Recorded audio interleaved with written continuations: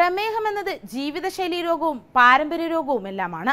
വന്നാൽ പൂർണമായി മാറുകയെന്നതല്ല നിയന്ത്രണത്തിൽ നിർത്തുകയെന്നത് മാത്രമേ വഴിയുള്ളൂ. കൃത്യമായി നിയന്ത്രിച്ചില്ലെങ്കിൽ ഇത് ശരീരത്തിലെ മറ്റവയവങ്ങളെ വരെ ബാധിക്കും. ഹാർട്ട് അറ്റാക്ക് സ്ട്രോക്ക് തുടങ്ങിയ പല പ്രശ്നങ്ങൾക്കും ഇത് കാരണമാകും. ഇതിനാൽ തന്നെ പ്രമേഹ നിയന്ത്രണം എന്നതിന് പ്രാധാന്യമേറെയാണ്. പ്രമേഹം തന്നെ രണ്ട് തരമുണ്ട്. ഇത് കൂടിയ അവസ്ഥയിൽ ടൈപ്പ് ടു എന്നതിലേക്ക് മാറുന്നു. ടൈപ്പ് ടു പ്രമേഹത്തിന് ഇൻസുലിൻ കുത്തിവയ്പ് പോലുള്ളവ വേണ്ടിവരും. എന്നാൽ പ്രമേഹത്തിന് പരിഹാരമായി ഉപയോഗിക്കാവുന്ന പല നാട്ടുവൈദ്യങ്ങളുമുണ്ട്. ഇതിൽ പലതും നമ്മുടെ അടുക്കളയിൽ തന്നെ ഉള്ളവയാണ്. ഇഞ്ചിയും ഉലുവയുമാണ് ഇതിനായി വേണ്ടത്. ഇഞ്ചി പല ആരോഗ്യ പ്രശ്നങ്ങൾക്കുമുള്ള വലിയൊരു മരുന്നാണ്. ആന്റി ഓക്സിഡന്റുകളാൽ സമ്പുഷ്ടമായ ഇത് രക്തത്തിലെ ഷുഗർ തോത് കൃത്യമായി നിലനിർത്താൻ സഹായിക്കും.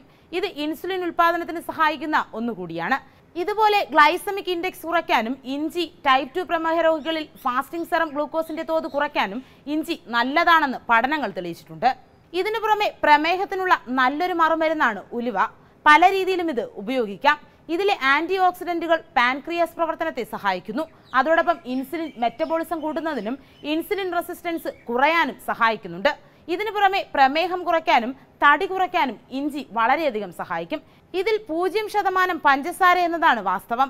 ഇതുകൊണ്ട് തന്നെയാണ് ഉലുവയെ പ്രമേഹത്തിന്റെ മരുന്നാണെന്ന് പറയുന്നത് പിന്നിലെ പ്രധാനപ്പെട്ട കാരണം.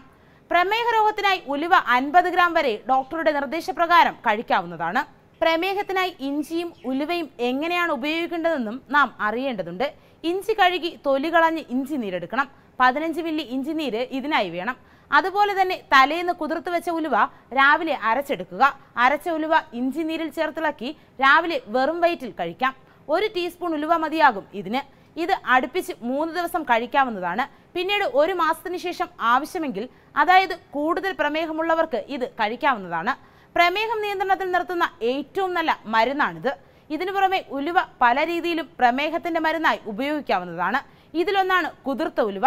ഏതാണ്ട് അൻപത് ഗ്രാം വരെ വെറും വയറ്റിൽ കഴിക്കാം. കുതിർത്തതോ മുളപ്പിച്ചതോ ആണെങ്കിൽ കൂടുതൽ ഗുണകരമാണ്. ഉലുവ വറുത്തു പൊടിച്ചത് ചെറു ചൂടുവെള്ളത്തിൽ വെറും വയറ്റിൽ കുടിക്കുന്നതും വളരെ നല്ലതാണ്. ഇതിട്ട് തിളപ്പിച്ച വെള്ളവും കുടിക്കാം. രാത്രി ഉലുവ വെള്ളത്തിൽ കുതിർത്ത് രാവിലെ ഈ ഉലുവ ചവച്ചരച്ച് കഴിച്ച് ഈ വെള്ളം കുടിക്കുന്നതും ഏറെ ഗുണകരമായിരിക്കുമെന്നാണ് പഠനങ്ങൾ പറയുന്നത്. Web desk Tatwamayi.